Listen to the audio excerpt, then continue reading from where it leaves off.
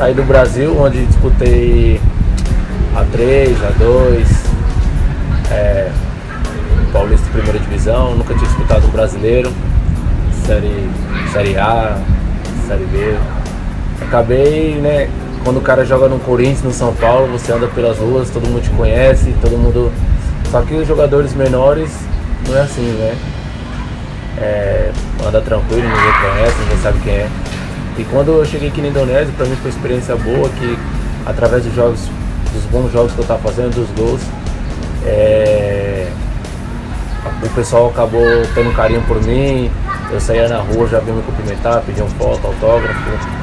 E hoje é como se estivesse no Brasil.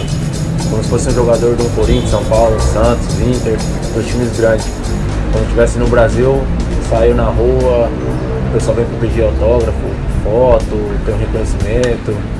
Às vezes é uma palavra ali de força. Isso pra gente que não tem tanto reconhecimento no Brasil é gratificante.